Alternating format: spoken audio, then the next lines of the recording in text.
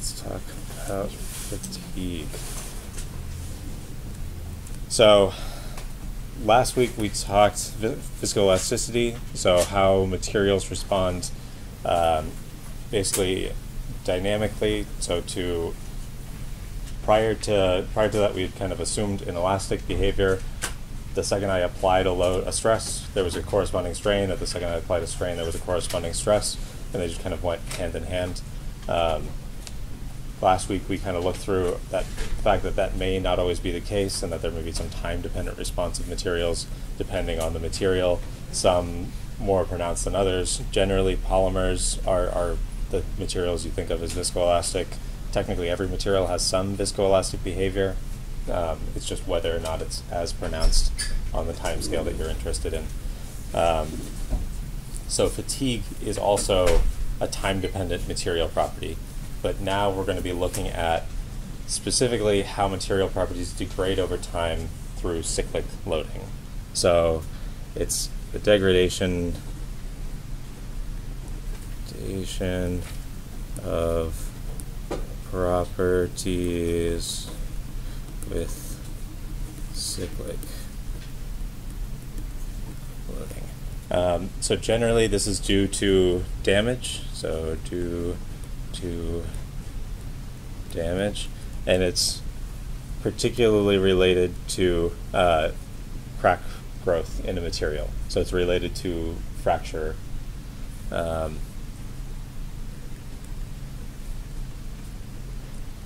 crack growth. So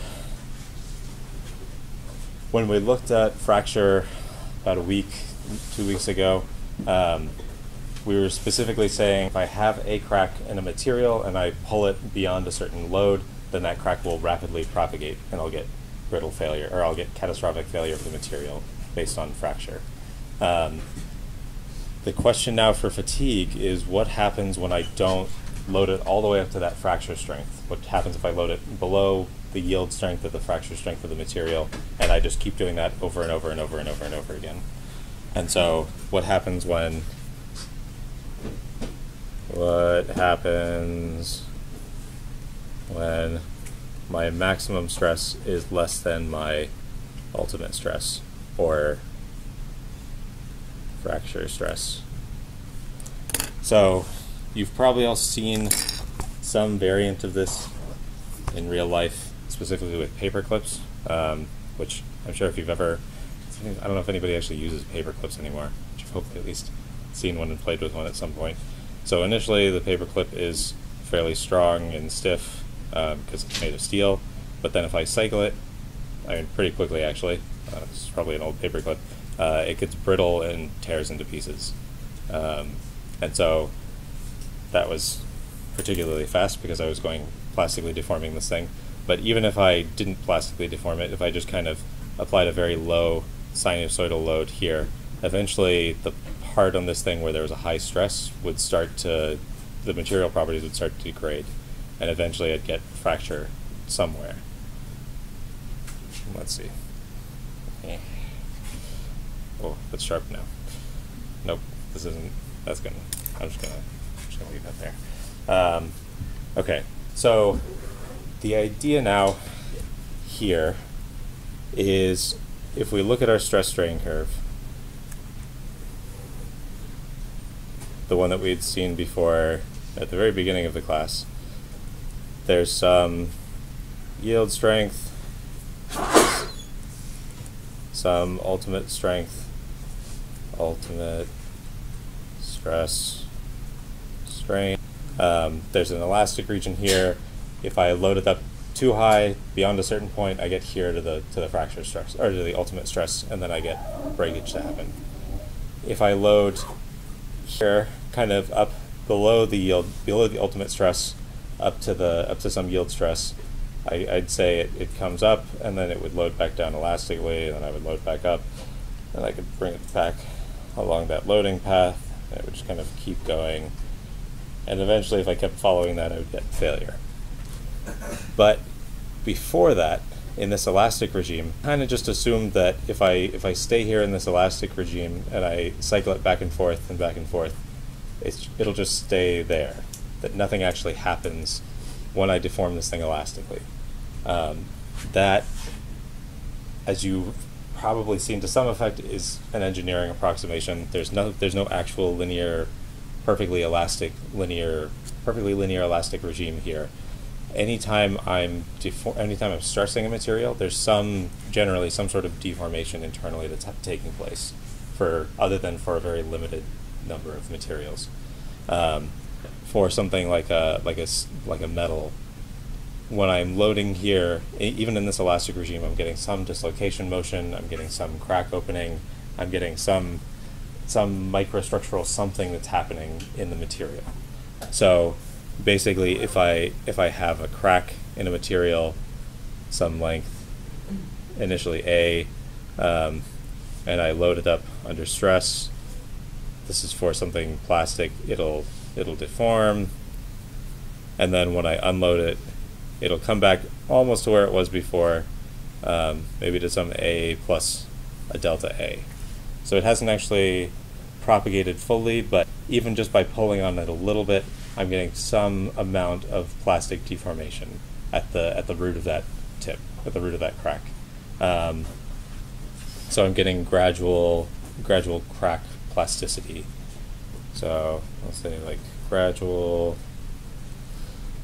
plasticity at cracks, or if I have if I have grains in my material, if I have some grain boundary that's leading to a high stress, when I uh, when I deform this thing, then here in the grain I have a high high stress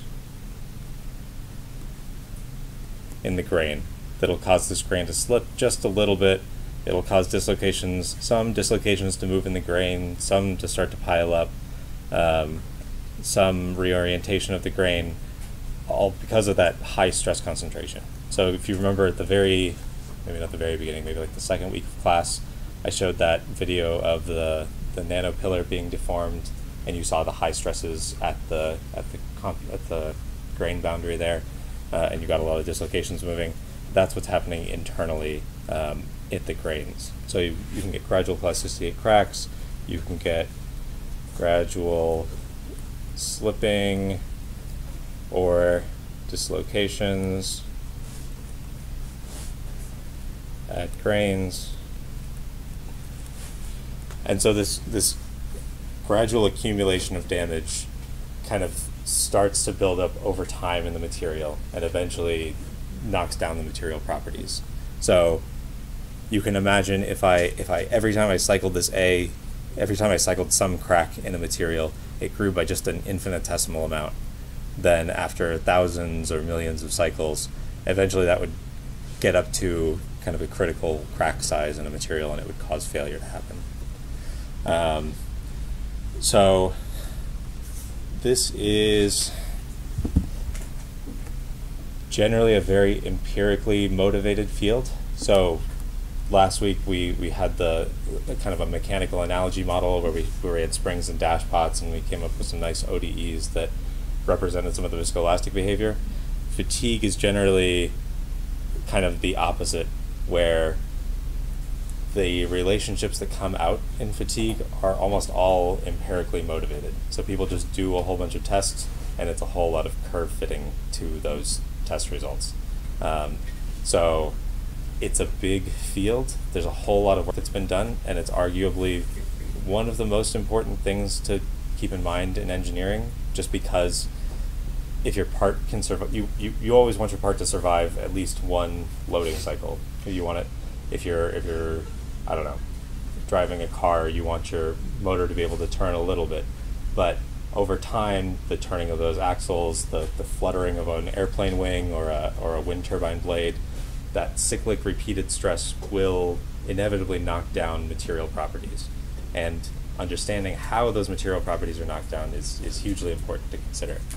Um, unfortunately, there's not uh, a whole lot of nice, clean analytic relationships we can derive. So we're going to kind of go through today some of the terminology behind fatigue, and then some of the ways that people think about these fatigue problems and how they classify them um, from an engineering standpoint.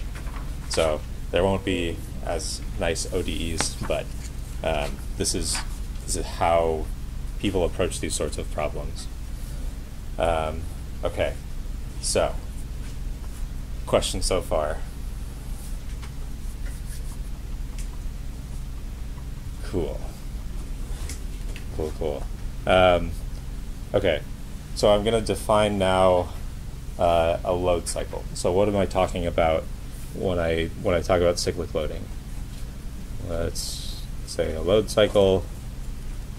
Load cycle terminology. So now I'm going to define over time some stress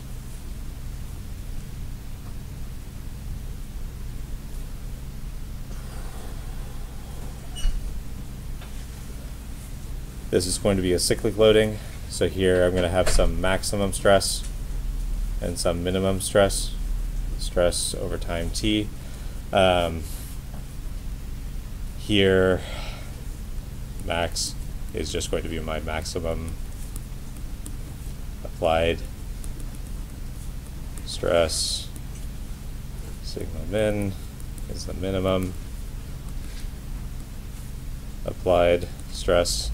Um, these aren't necessarily the quantities that are actually important. What's actually important, what we're most considering, is the amplitude. Sigma A is uh, the stress amplitude. So, stress amplitude, which is the max minus the min over 2. So here, if I had kind of a sine graph, this would be my amplitude if this was centered at zero. Um, and then my uh, mean stress. So sigma m is my mean stress, which is the max plus the min over 2.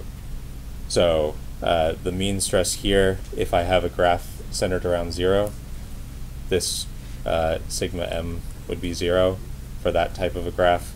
Um, but if I had kind of a high applied working load, if I had some stress that was going over like this, time t, stress, max min, uh, sorry, sigma m, sigma a.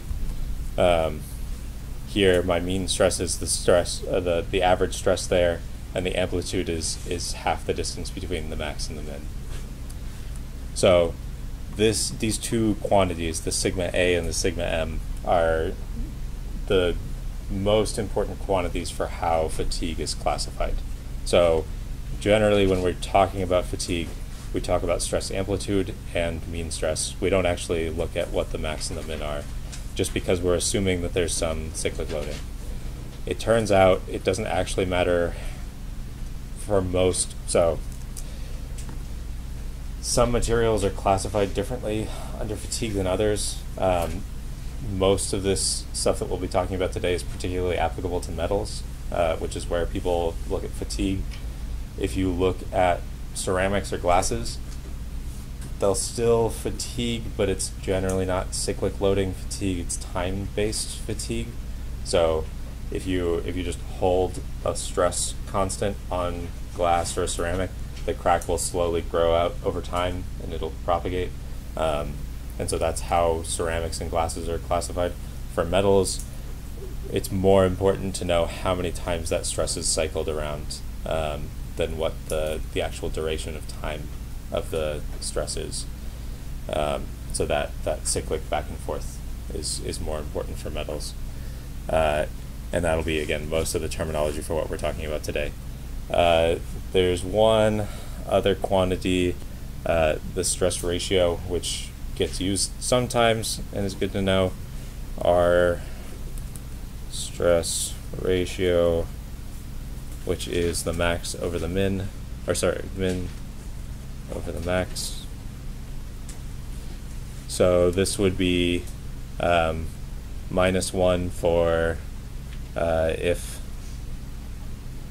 the magnet, so for here, if the magnitude of the max was equal to the magnitude of the min, or the mean stress was equal to zero. Um, yes. So here my my min stress would be minus my max stress, so my R would be minus one. This would be zero if my minimum stress was zero, and it would be infinity if my max was zero. Um, R doesn't come up as much, but it's still kind of a useful quantity to know just in terms of characterizing things. Um, okay, so oh, I'm going to stay on this page. So, when we talk about fatigue, there's one curve in particular that kind of comes up most frequently, uh, and that's something known as an SN SN curve. So, SN.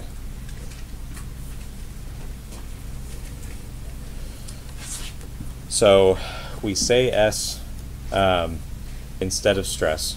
S here is the nominal, nominal applied stress. And what I mean by that, so if I have just say a uniform rod that I was applying some load to, some P, um, my S is just P over A, which is the same way that we normally define our stress. If I had something like a beam instead, and I was applying some moment to it, um, my S for my beam would be mc over i, where this is 2c. Um, so it's basically the maximum stress here at the top. Um, so it would be the max at kind of the top or the bottom. Um, if I had something like a plate with a hole in it instead, let's draw this. Some stuff. This plate had some thickness T, some width W, and a hole D. Put that went through to the other side. And I was now applying some load P to this. Uh, my nominal stress would basically be the stress at this cross section. So stress is P over T times the, the area that cross section is W minus D. Minus D. Um, which is different than the, so you remember from two weeks ago, uh, the stress, the maximum stress here at the root was three sigma, or which would be um, just the the far field applied stress P over WT, and then three times that would be the stress here. So the, the nominal stress is slightly different than that. It's just kind of the the max average stress over that, or the average stress over that cross section. Um, so it's it's defined a little bit differently depending on exactly the loading case. But this is why we use the the symbol S instead of sigma. So for most cases, most fatigue problems will just be looking at a uniaxial rod getting stressed back and forth, um, or sometimes a beam getting flexed. Uh, so, so a lot of the time they'll use sigma in SN curves instead of S, but the S is technically there for nominal stress for general loading cases.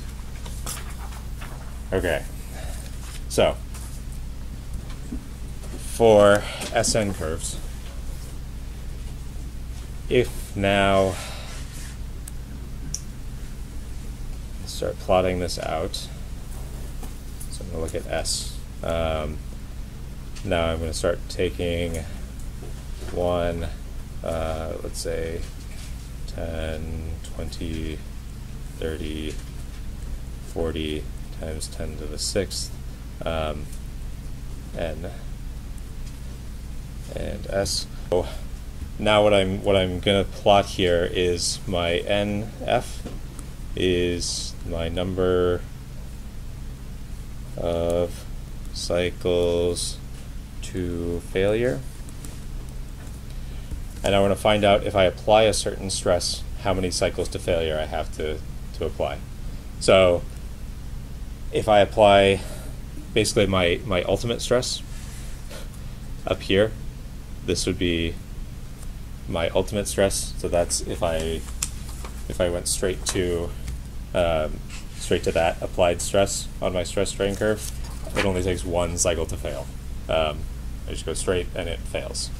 If I am lower, if I apply less stress than my ultimate stress, what you end up with is kind of a big clustering of points going down, and then over time, this will kind of start to drop off like that. So you'll get a curve that's something like this, where it's gradually decreasing over time, um, but has this kind of sharp upswing at the beginning. So this is generally not a super useful way to look at stress, but this is what it would look like if you plotted it on, on a normal scale. So what we do instead, generally, um, is we look at these on, on either a, a semi-log plot or a log-log plot. So we look either here um, and f, but plotted on a log plot. So this would now be um, 10 to the 1, 10 to the 2, 3, 4, 5, 6, 3, 10 to the 4, 10 to the 5, 10 to the 6. Um, and this would still be plotted normally. So, um, say this is 3, 4, 5. So this is something like 800, 700, 600, 500. Um, so this would be reasonable for something like a steel. Um, what you would actually get is if you started plotting this out, there'd be kind of two general deformation regimes. Um, where you get something like this, something that kind of sharply dropped down, and then eventually oh, started to plateau out. I don't want to do this. I'm still going to draw this. Enter it here. Let's do like this. Cut tails off. There we go. Okay. Um, so when we do these tests, uh, we or when when people do these tests, they generally apply. Um, they apply a constant stress amplitude here, so uh, they give. You can. It's easy to define what the max and the min stress are, uh, and what the mean stress are. What the mean stress is. Uh, so they're they're generally at a constant applied stress. Sorry, this should be SA. So this is generally applied plotted in terms of stress amplitude, um, but you'll plot you'll apply a certain stress amplitude where you'll get um, points lying along a line.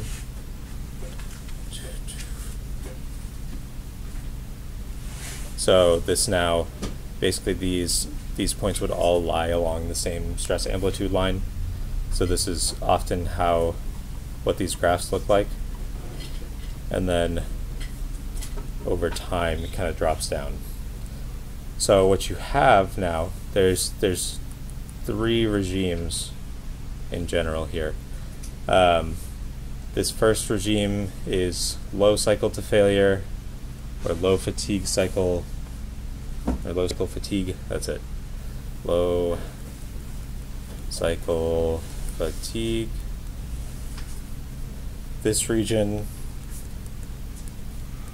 high cycle, fatigue, and then this is your stable stress or stable, uh, kind of stable long-term stress, far long-term stress.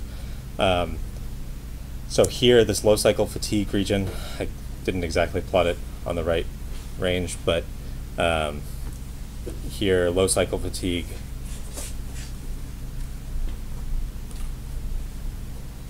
Fatigue is generally on the order of 10 to the 2 to 10 to the 3, or, sorry, my NF. Um, NF, uh, I'm just gonna erase this whole thing. There we go. NF is on the order of 10 to the 2 to 10 to the 3. And basically, this is also uh, generally above the yield stress of the material. So generally, uh, the stress amplitude is greater than um, the, the yield stress for my for my material. Um, and so what generally so what this looks like in my stress strain diagram. So you remember I kind of have these deformation regimes, sigma yield, sigma ultimate, strain, stress. Um, basically what I'm doing in here is I'm kind of applying some stress out here, slightly above, but below my ultimate stress. And I'll end up just kind of gradually working my way out on this curve. Because over time, as each cycle kind of goes, those infinitesimal cracks and voids and grains will start sliding, and I'll, I'll get this kind of gradual working out um, as I as I apply more and more cycles. As I apply more and more cycles, and so this is kind of what happens in low cycle fatigue. So I'm in, in a plastic deformation regime, so I know I'm permanent, permanently plastically deforming my material to begin with, um, just a little bit, and then um, kind of what we what we would have thought before uh, is I would kind of come up to this failure point and I would keep going back and forth to that same point on my stress strain plot. Realistically, that's not what happens, and gradually that damage accumulates, and I, I get some sort of failure here at a slightly lower stress than what my ultimate stress would be, um, depending on the number of cycles to failure. High cycle fatigue. High cycle fatigue. Um, so this one now, I'm staying below, so my end of failure uh, is kind of less than normally 10 to the 6th, uh, 10 to the 7th, 10 to the 6th to 10 to the 7th, ran out of room. Um, and in this high cycle failure regime, what I'm doing is I'm well below uh, my, oh, here's my SA, uh, staying well below my ultimate stress, or my yield stress. Um, side note, uh, or not side note, clarification. Uh, this is specifically for my mean stresses equal to zero. Um, and I'll, I'll talk in a little bit about how that changes when mean stress isn't zero.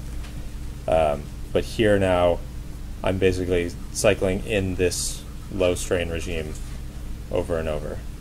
And so even if I'm I'm kind of well below, maybe not well, well below uh, my ultimate stress, I can still eventually get failure to happen. Maybe something more realistic is kind of out here. Let's say SA there. Bring this up a little bit. There we go. So even if I'm still a good amount lower than my ultimate stress, yeah. It's, sorry. strain, stress. Um, so even if I'm still way lower than what my ultimate stress is, eventually this will actually kind of fail at a low at a much lower stress than what I would expect just from a uniaxial tension test. Um, and so this is generally what we're talking about with high cycle fatigue. Um, at long timescales, at large numbers of stresses, um, there's not for all materials, but for some materials, um, there is something known as a as an equivalent. No, not equivalent. E is what is E? E. How am I blanking on the name for E?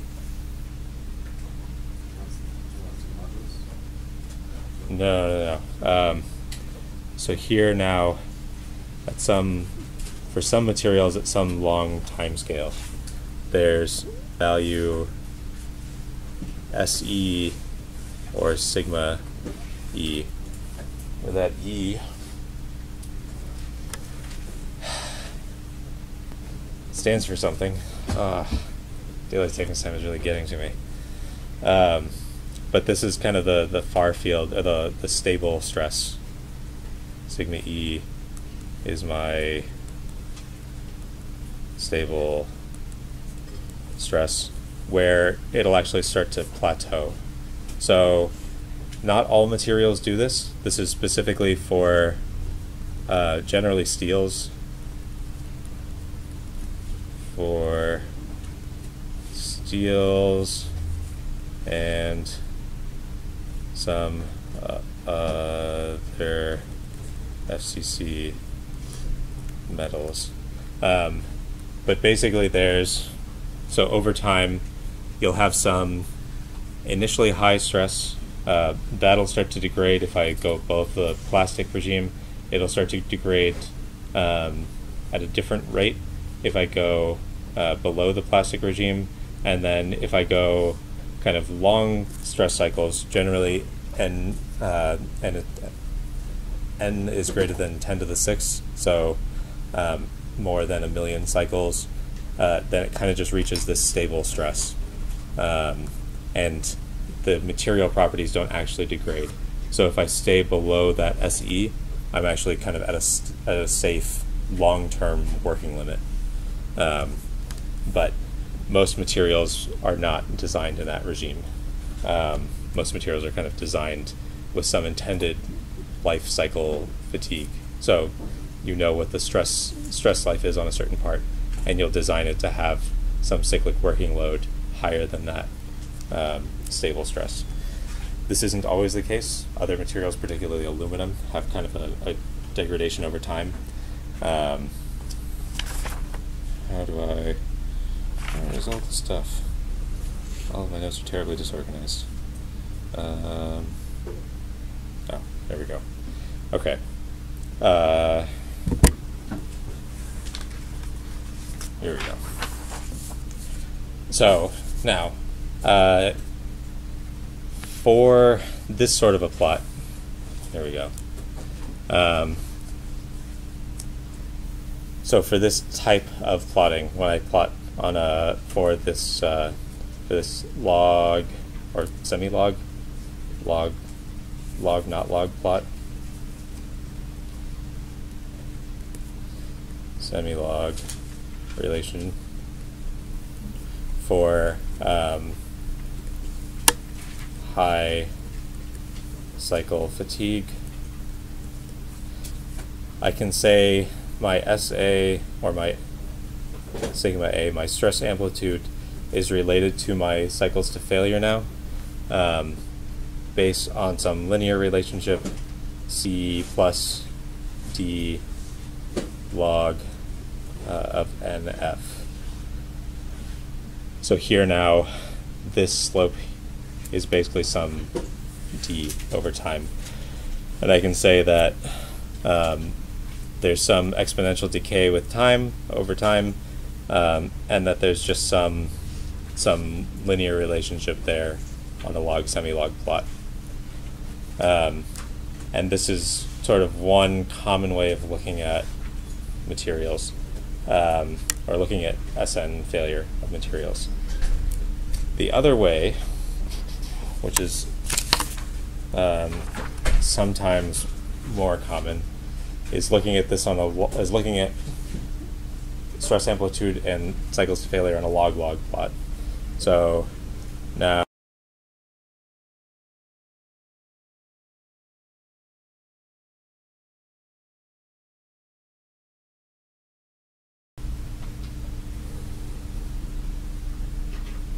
my S, A, and N, F.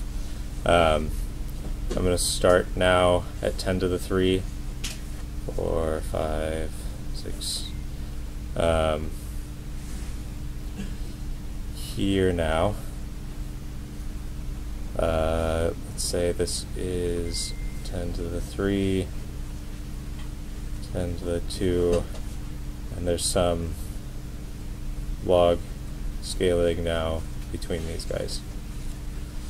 Um, so SA on a log scale and NF for 10 to the 5, 10 to the 6, 10 to the 7th, also on log scale. Um, and what we can, what we'll end up with here Oh, this is degrading way too fast. Um,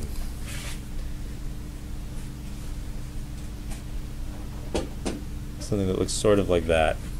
Um, so now, at long time scales, this kind of starts to plateau off, um, and we'll end up with some data around in these different regimes. Uh, this is maybe slightly exaggerated over what it would be.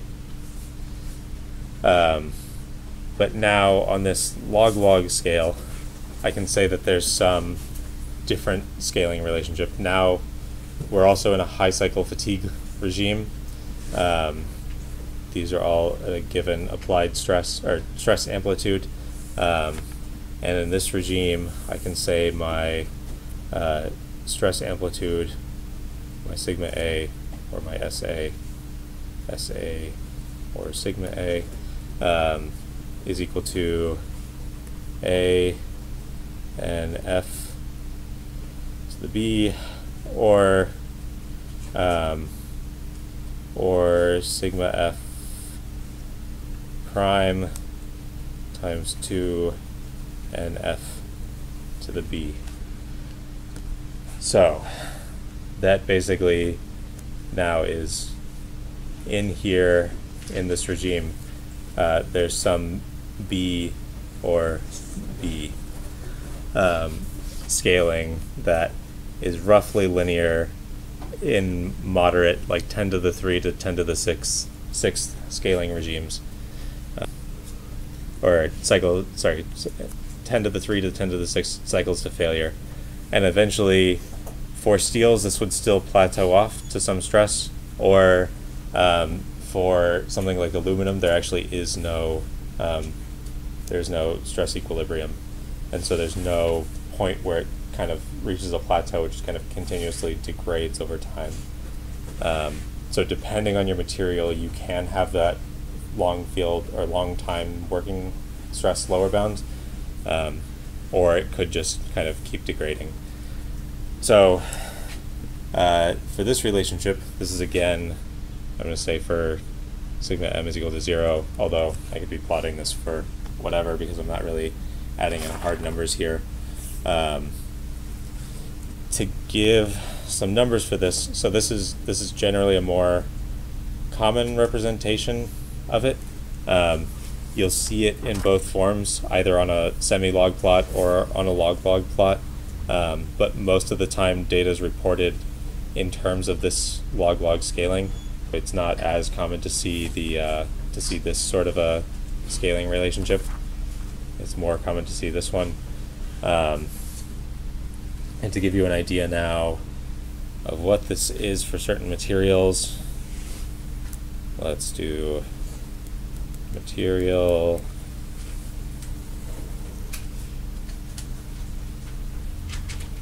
uh, yield stress, ultimate stress,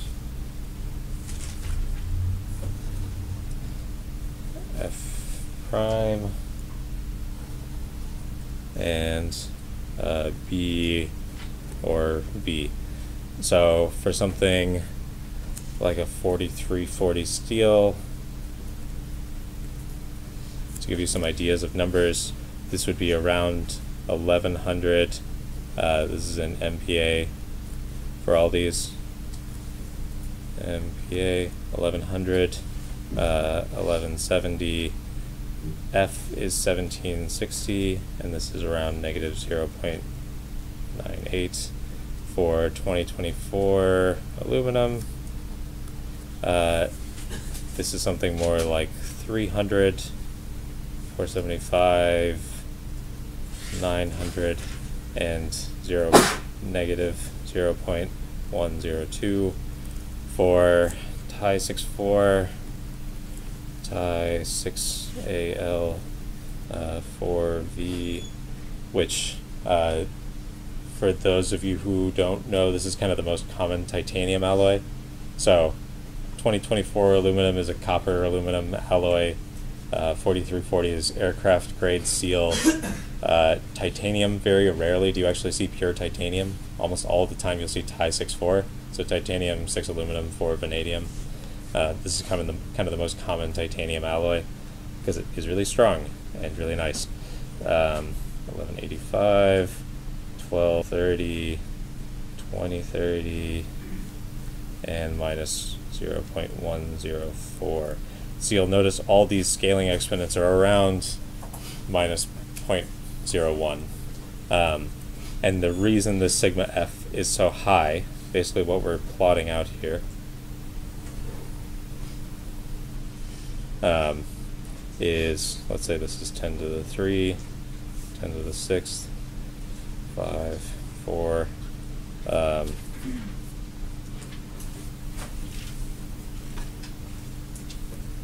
some lower scaling, and then let's say a plateau after that. Um, yes, sorry. So basically, if this is our stress amplitude and this is our number of cycles to failure. Um, this is my ultimate stress here. This is my sigma f prime. Um, because this scaling,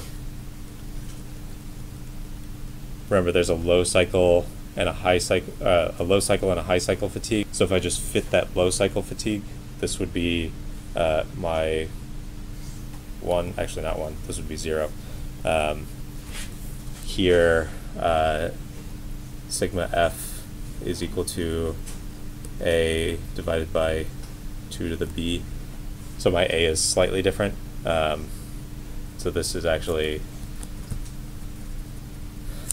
technically, if this is one cycle to failure, uh, then this would be my a, or sigma f prime over 2 to the b is equal to A.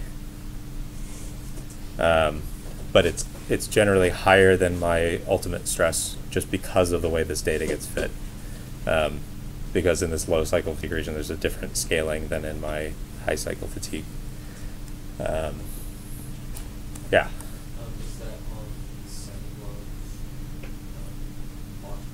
This would be on a log log plot, or yeah, I guess yeah, it, it could go either way. But um, so this would be with with this particular scaling relationship. So this would be on a log log plot.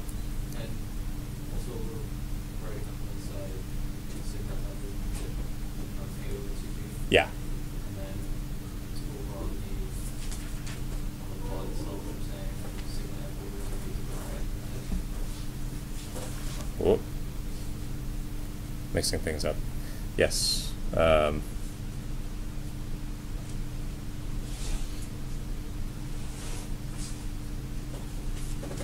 yes.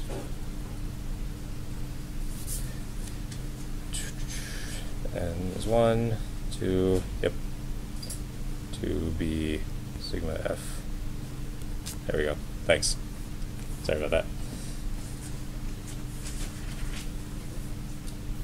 Okay. Cool. So, um, there's not enough time to get into too much more stuff. Let's define safety factors really quick. Um, so now, if I have these scaling relationships, I can define a safety factor or factor of safety uh, for a given stress. Safety factors, factors of safety uh, for my stress factor of safety. Um, factor of safety xs um, is equal to the AF over sigma A, where I'm going to use stress amplitude now. Uh, this is the stress amplitude to failure. Uh, this is for given NF. So sigma A F uh, is sigma, uh, what do I want to do? A. A NF uh, to the B, sorry, for given n, for given n. There we go. Um, for number of cycles, xn is my number of cycles to fail over the number of cycles that I'm applying. So applied stress. So if I know, here, let's roll back a sec instead of just saying things really quickly. Um, if I know how many cycles my part is going to undergo, so if I if I have a car axle and I know how many cycles it's going to undergo over time, uh, and I know how long I want it to last, say 10 years, I can say what my failure stress is, uh, and I can make sure my stress amplitude is below that. If I know uh, the max number of cycles to failure for a given working stress. So for like a like an aircraft fuselage, I know I'm going to be loading it to a certain pressure uh, to, to, pressurize the cabin, uh, and then I know how many cycles I can cycle it to before it'll start to fail. So I know how many times I can take my airplane up and down before it'll start to something will start to go. Um, I can relate these two, but it's not as important. So tomorrow I'll talk about what happens when you change the mean stress, what happens when you change the amplitude, uh, and then what that means for the, the fracture or the internal flaws in the material.